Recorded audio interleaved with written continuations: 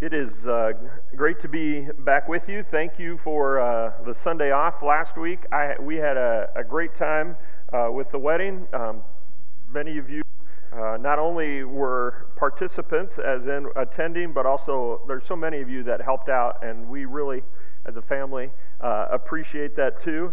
Um, I really did have such a good time. Um, you know, uh, Cassidy had asked me if I was interested in in doing the ceremony, and I told her if you couldn't find anybody else, I was willing to do it. Um, but it, you know, it, it, wasn't at least for me. It wasn't something where it's like, man, I, I can't wait to marry my daughter off, as in the actual um, leading that part of it, because it seems like for so many years I've stood here and. Uh, I've always wondered what it's like to sit in those chairs, right? Because I, I, get to be on this side and watch all that happen, and I love just sitting there and uh, and watching it happen from uh, there in the front row. So uh, I had a great time, and uh, hopefully someday, uh, hopefully someday, not too soon, uh, I'll sit on this side of the sanctuary as well, right, Carson? Oh yeah. I, no, we have nothing to announce, at least that I'm aware of. So. You're welcome. Uh, and thanks, Brianna. Great job uh, leading. Bring it on. That that is uh, her mantra. Uh, so that that's really true. Even in the fact of leading the uh, this time this morning, uh, getting up in front of people. That isn't always what people are looking forward to. Is how can I get up in front more often? but you did a great job with that, and there were just in the big picture, there are 58 kids connected to uh, our church that went to camp uh, this past summer. That's from senior high to uh, the kids' camp. Brianna was, was there with them throughout. Uh, I, I did that one time. Uh, that was my first year as a youth pastor here. I went to all the camps. I had a great time, but as I've never done it again, uh, it's just, it's exhausting. And so, thank you so much for doing that. We don't have uh, a youth pastor right now, and so uh, people step up and do different things at different times to help out. So, uh, big help with that. The other piece I wanted to let you know of is uh, not only were there 58 kids that went, but also uh, within our budget, we have about $1,500 that we gave in scholarships plus another $1,100 on top of that. So, uh, through the church, about $2,600 was given to help those uh, 58 kids uh, go to camp. And, and again, I think that is money very well spent. We will continue to, it's my goal that any kid that wants to go to camp should be able to go. And if that means we pay the whole way, we do that. Or if that means we help out with 20 bucks, uh, we do that. So, uh, uh, camp is an amazing uh, place where uh, spiritual battles go on for the hearts of our kids. And, and that was true again uh, this summer. And so uh, continue to pray for the impact that those camps and that week have on kids. You know that if you went to camp, part of who you are spiritually uh, today is because of those camps back then. And so uh, that's, that's part of our goal. Well, again, this morning we are looking at parables. And uh, the parable this morning you've, you've probably heard of. In fact, many people within our culture talk about or know about Good Samaritans. You read about it in the paper how Good Samaritans stop and help someone. Good Samaritans are plugging in over here. We use the term in our culture. Not everyone knows specifically where it comes from, or perhaps even as we look this morning, hopefully there'll be things that, that God speaks to each one of us about. And so as we begin, I'm just uh, going to invite you once again to bow your heads and in the quietness of this morning, ask the Spirit to speak to you, to, to talk to where you're at, the needs perhaps that you have, the joys, the sorrows, give them all to Him and ask Him to speak to you this morning. Will you pray with me?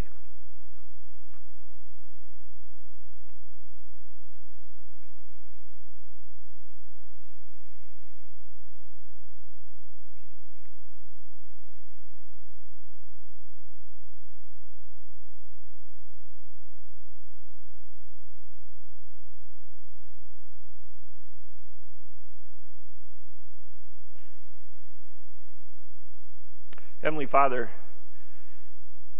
it's not often that we have quiet moments like this in our life. Lord, I know that in the, in the stillness, in those quiet times, it becomes even easier to hear, to hear your voice. Lord, I, pray this morning that, that not only would you um, quiet our hearts and our minds, but, but speak to our souls. we've come here this morning to, to give you honor and glory, to, to worship you. I pray, Lord, that, that we would hear from you. May we be encouragement to others. May we walk through life together. Thank you for the love that you've shown to us, that you have not left us alone, but not only have you given us your Son who, who gave his life for us, but through that life, death, and resurrection, Lord, you're with us each and every day. Your Spirit lives within us as we follow you as disciples. Uh, we praise your name. We thank you so much. In Jesus' name, amen. So I invite you to take your Bibles. We are in Luke chapter 10, and there is a Bible there in your row. If you happen to use that Bible this morning, we are on page 843. In parables, we get to see stories that run in parallel. Remember, parallel and parable come from that same Greek root word. Stories that run parallel with the message that Christ came to give. Repent the kingdom is at hand. Repent, the kingdom is at hand. And in the uh, last month or so, as you have been coming to church, and uh, as you have looked at the outline, you've probably noticed that I haven't really worked that hard. Uh, you, if you use the outline, you'll usually notice that I have the same one in the same order each and every week, dealing with uh, the parable, the context, and the meaning. However, typically we start by looking at the context. However, this morning, just to throw you a little curve, I decided to start with the parable instead. So, if you have your Bibles, look with me at Luke chapter 10, and we're going to read verses 30 through 36 and uh, see this parable that Jesus gave uh, to, the, to the people, to his disciples, and specifically to the expert in the law that we will go back and, and see asked a question. So, in Luke 10, starting in verse 30, it says, In reply, Jesus said, A man was going down from Jerusalem to Jericho when he was attacked by robbers. They stripped him of his clothes, beat him, and went away, leaving him half dead. A priest happened to be, do- be going down the same road, and when he saw the man, he passed by on the other side. So too a Levite when he came to the place and saw him, he passed on the other side. But a Samaritan, as he traveled, came where the man was. And when he saw him, he took pity on him. He went to him and bandaged his wounds, pouring on oil and wine. Then he put the man on his own donkey, brought him to an inn, and took care of him.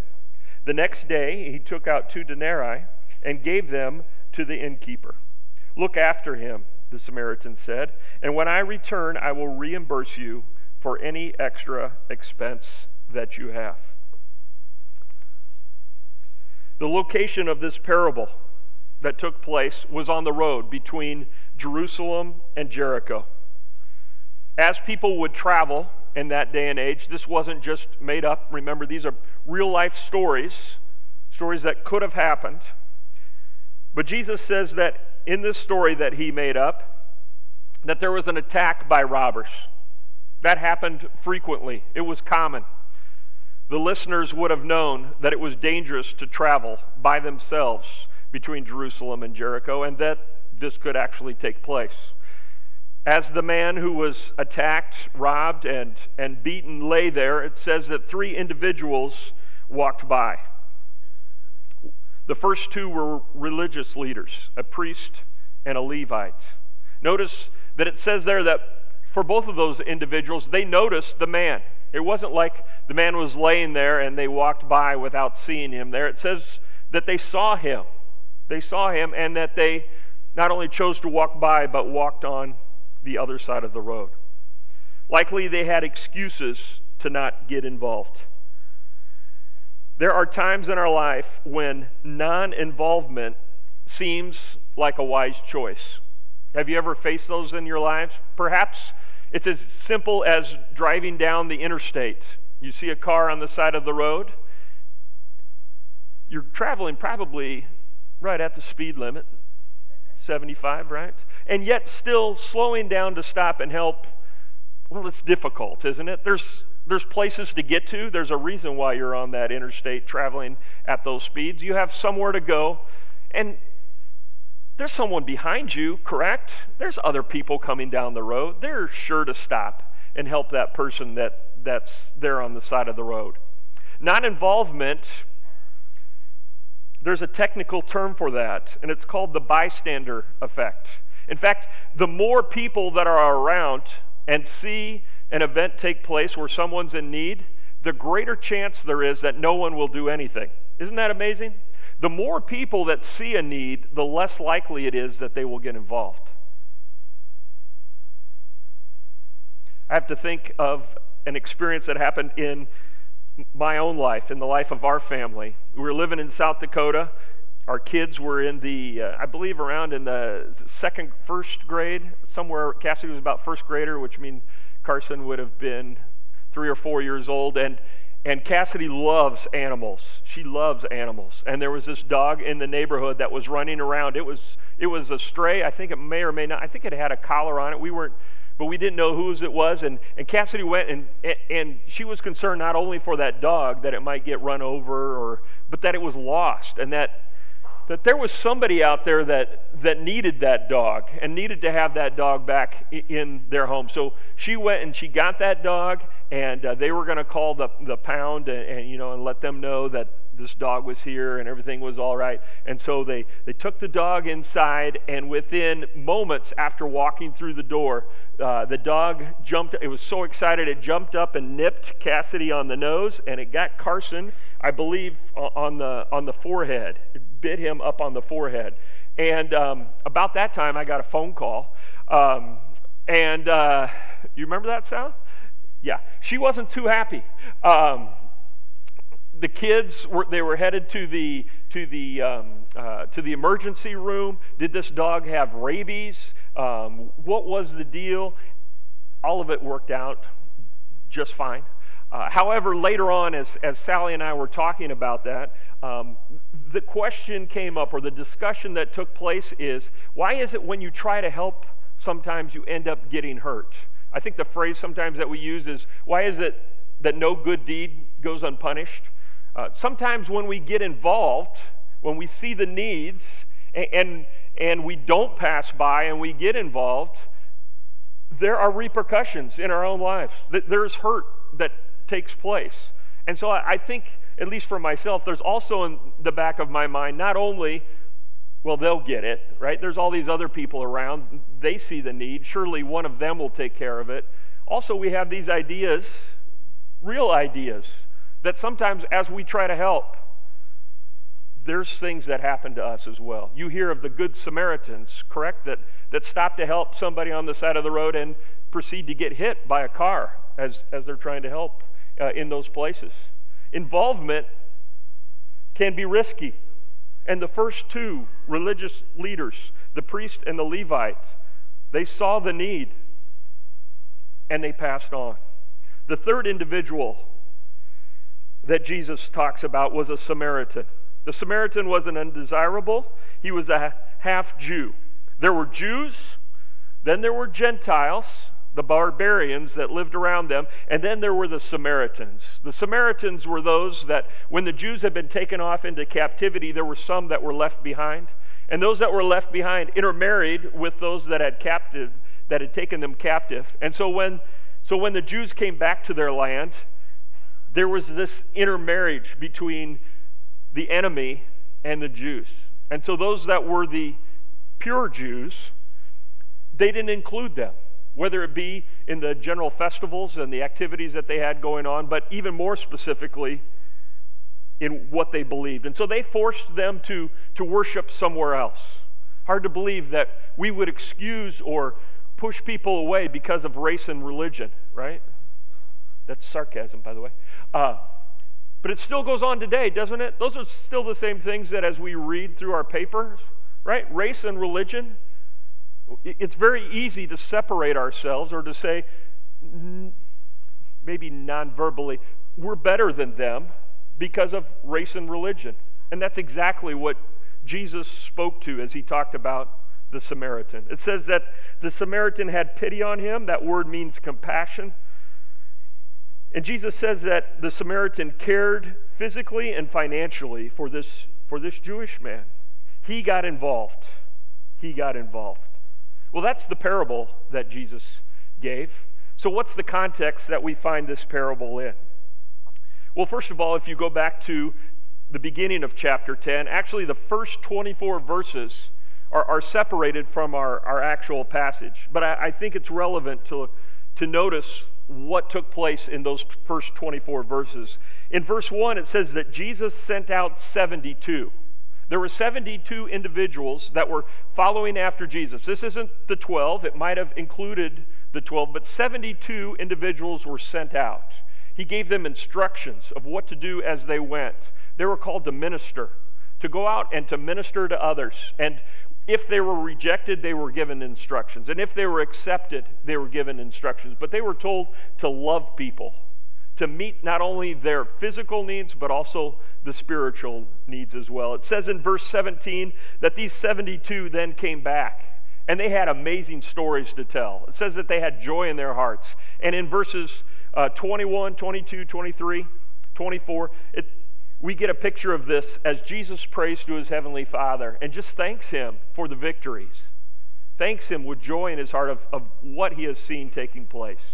That's the first part of chapter 10. Then we come to verses 25 to 28 that lead up to the parable of the Good Samaritan. It says this On one occasion, an expert in the law stood up to test Jesus. Teacher, he asked, what must I do to inherit eternal life? What is written in the law? Jesus replied. How do you read it? The man answered, Love the Lord your God with all your heart, and with all your soul, and with all your strength, and with all your mind, and love your neighbor as yourself. Verse 28 You have answered correctly, Jesus replied. Do this, and you will live. But the man, the expert in the law, wanted to justify himself. So he asked Jesus, Who is my neighbor? The expert in the law comes to Jesus, and it says that this expert wanted to put Jesus to the test. Now, when we think of that word test right away, we go to he was, he was struggling to, to try to make Jesus look bad.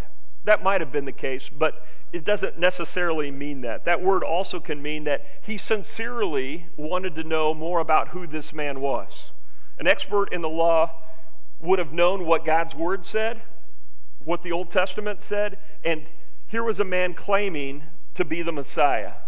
So he truly could have genuinely wanted to know is this the Messiah? He was putting him to the test to see if who he said he was was really true. And so he gave him the question in verse 25.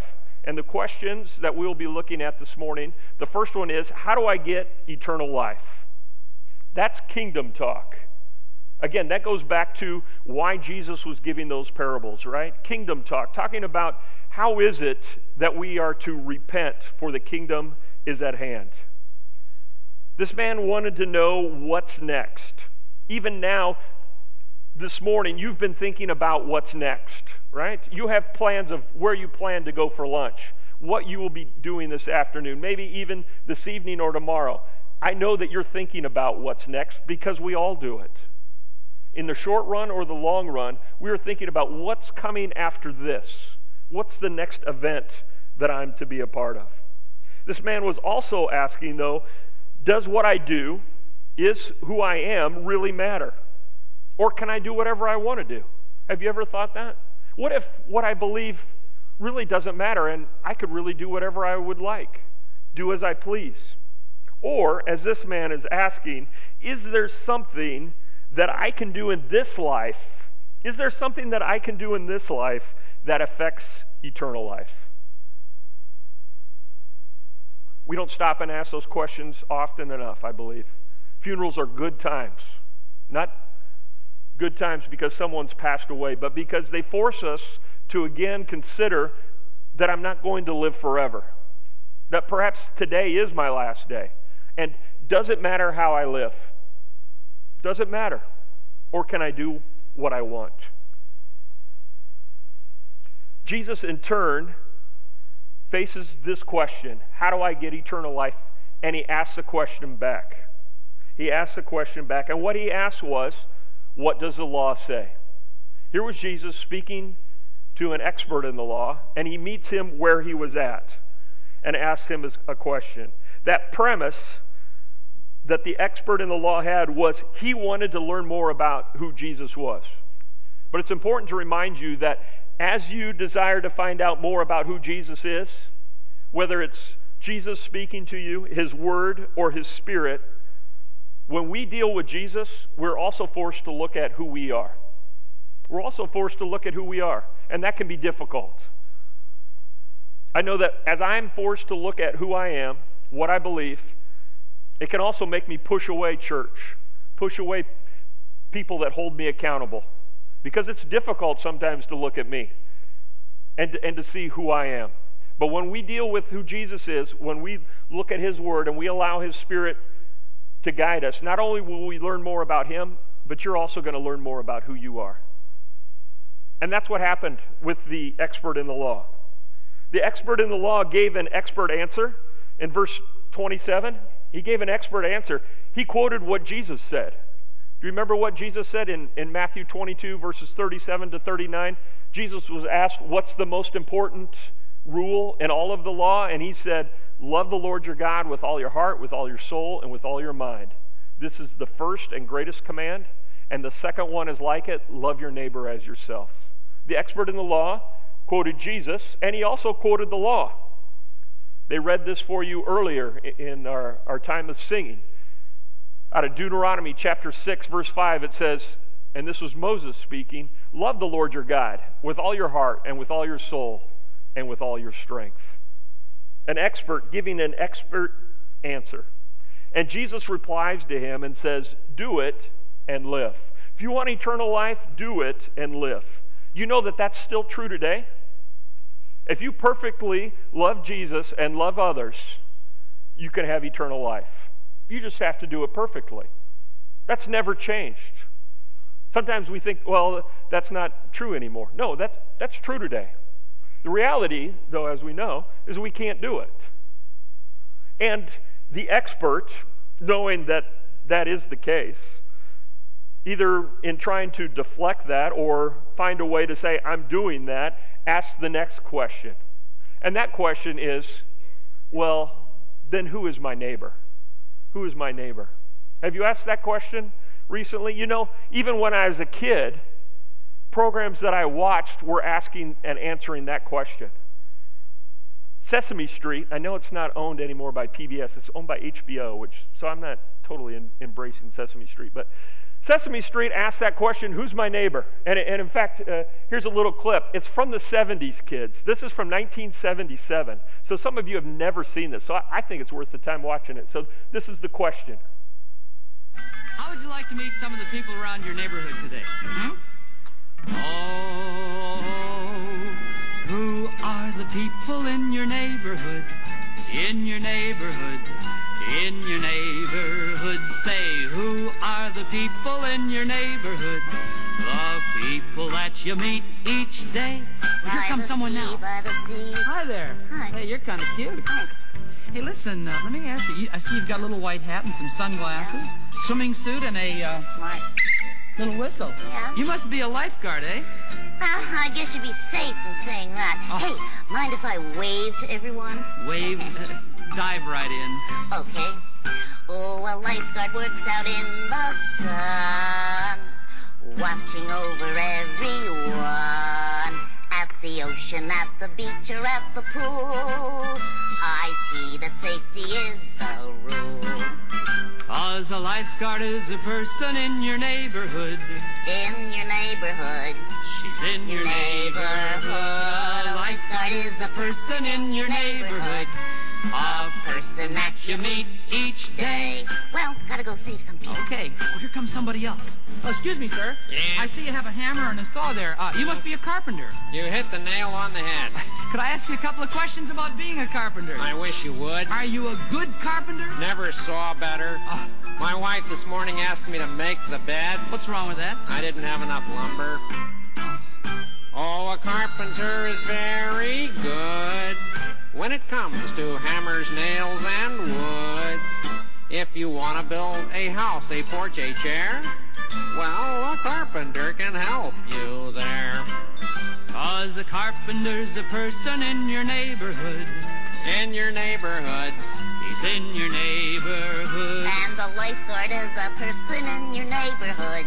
They're the people that you meet. when you're walking down the street, they're the people that you meet each day. Well, gotta go talk to the gulls and bullies. Bye. I saw that I bored her.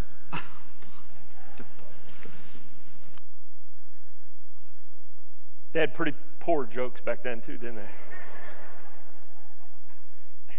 But our neighborhood isn't just those people that live around us, right? Sesame Street taught us that it's the people that we meet as we're walking down the street, right? It's the people that we meet each day. And often, as we think about the parable of the Good Samaritan, our focus then goes to who are those people? Isn't that what Jesus is wanting to teach us? Who are those people that I'm missing? Who are those people that are my neighbors that I'm not counting as neighbors? But is that what the parable is teaching? Let's take a look at it. Let's look at the meaning. Verse 36. Jesus, in reply to this question, Who is my neighbor?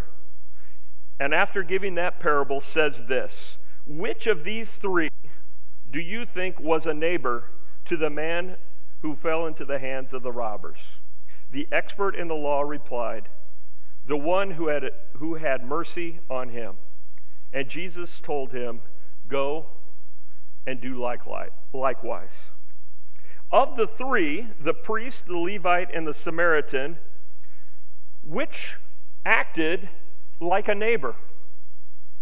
Do you see what Jesus did here as, as we think about the meaning? The question started with, How do I get eternal life? Jesus responds by saying, What does the law say? The expert in the law said, Well, then who is my neighbor? And Jesus finishes this discussion by saying, Not who is your neighbor, but which of the three, which of the three that was walking down the road was a neighbor to the victim? He didn't focus on the victim or who the neighbor was. He instead looked to the individual that's on the road, the Good Samaritan, the priest, the Levite. Which one of those three had an attitude in themselves that not looked to their own needs? No, who acted in a way that demonstrated love, grace, and compassion? Jesus points back to the words that that man said in verse 27 when asked, What does the law say? Love the Lord your God with all your heart, soul, and mind, and love your neighbor as yourself. Who is acting this way, truly demonstrating their love for God? We encounter people and circumstances like this each and every day. And too often, we look for ways to get ourselves off the hook. There are too many needs. There are too, it would take too much time. I don't have enough money. There's too much care. And in the end, really what we're saying is it's too risky. It's too risky. But Jesus goes from the question, how do I get eternal life? And causes us to look at ourselves and say, can you love God without loving other people? Not people in your small group, not people in your Sunday school class, not just people that you see here in Hesston, but as we live our lives, as we encounter others, can we love God without loving people? The law still says if you love God and you love others perfectly, you have eternal life. But there's hope.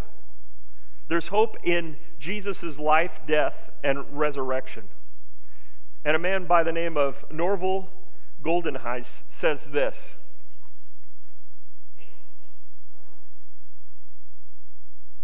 He says this in his uh, um, commentary on the book of Luke. He says, I have, and this is Jesus speaking, I have given you eternal life through grace. And this new life in you will enable you to have real love towards God and your fellow man and to carry it out in practice. So go forth and live a life of true love to God and to your fellow man through the power that I give you. You see, I don't have enough time. I don't have enough money. I don't have enough strength. All of those things may or may not be true. But through the power of the Spirit, God says, Trust me. Trust me to lead you to the people that I'm calling to, that you will have what you need to meet those needs. Because it's not, in the end, about us. We can't be good enough to earn God's salvation, and we can't be strong enough to meet everyone else's needs. But as we avail ourselves, and as we're willing to engage those opportunities and those people that come into our lives, Christ overflows from within us to others. And that's why we continue to talk of when we think about what it means to be a disciple, when we, when we continue to think about what it means to be centered on Scripture, Holy Spirit empowered, reaching the world, intimate in worship, serving others, and in transparent relationships. Yes, it starts within us. The Spirit lives within us, but it doesn't stay there. And the story of the Good Samaritan isn't just about who's your neighbor, but what is he calling me to be? What does it mean to have the Holy Spirit live within me? And who are those then that it overflows to as well? If you have ears, let them hear. Will you pray with me? Heavenly Father, thank you so much for not passing by us. Lord, the, the strength that we needed, the hope that we needed, the healing that we needed. You took the time and gave everything so that we might know you, so that we might have healing. Thank you for the truth of the gospel that that who we are is, not found in what we do, but rather in what you did for us. Lord, I, I pray that as we live those things out, as we allow your Spirit to guide us, that we will, with joy, uh, even as the campers talked about this morning, that, that we would say, bring it on. Whatever it is, Lord, we, we are prepared. We are willing. We, we can't solve it ourselves. We can't fix it all but we want to be available. Show us the things that you're calling us to. Help us to, to reach out in joy and then praise you and give you the credit for the things that, that take place. Lord, we love you. Thank you so much. In Jesus' name, amen.